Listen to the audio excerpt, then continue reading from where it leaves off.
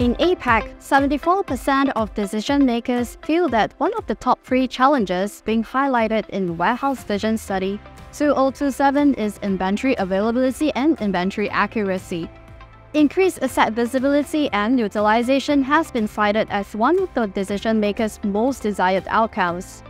Most warehouse operators have seen shipping volume increases of approximately 23% in B2B and B2C fulfillment. Dropship volumes have climbed approximately 22% as well.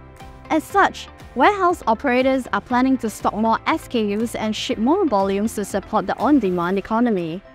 Today, warehouse operators augment workers with devices and automations. They are also using sensor or real-time location technology to increase productivity and operational visibility. Doing so helps them provide the best next move to their own workers, as well as more predictive capabilities.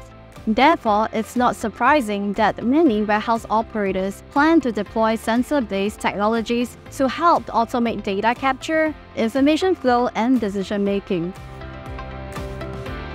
Materials availability and asset visibility is critical for manufacturers to prevent unplanned production downtime.